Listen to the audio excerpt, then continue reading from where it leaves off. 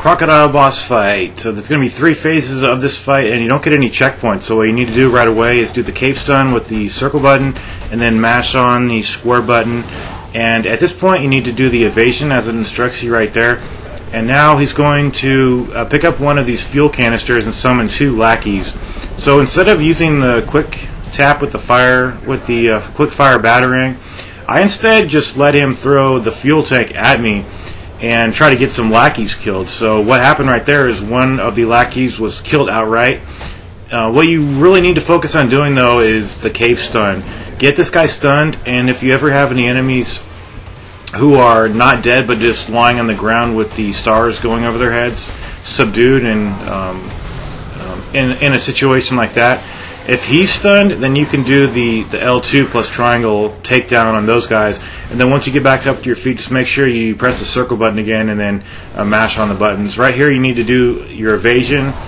And he's going to go to the second canister, pick it up, and three more lackeys are going to drop into this picture. I think only one of them got killed. Uh, so stand back here, and this this usually doesn't even hit the player, so it works out pretty well.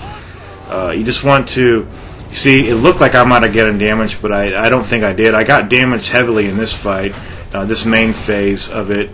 Um, so the the lines over him when they're red, that means you just can't counter counter attack him, and it's a tough fight. It really is because this guy takes off massive damage from you, and the lackeys, if if they weren't here, it, it really it wouldn't be hard whatsoever. But then it really wouldn't be a fight. So Anyway, so I took him down. I did not have iframe, so I jumped back on him, did the cape stun.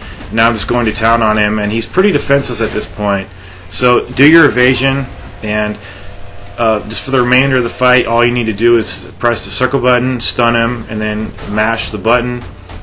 Uh, so there will be one point in the fight where you will want to um, do the um, uh, throw the batarang, and that's at the very end. Uh, but no, no checkpoint. It's a pretty hard fight. I struggled on it, but it's nice to get some of those lackeys killed. Just one, just getting one of them killed is really nice. I've had two get killed sometimes, and then, um, but uh, you just can't control it. That's the thing. So just throw the batarang at him. And that's the end of the fight. I'll see you in video three.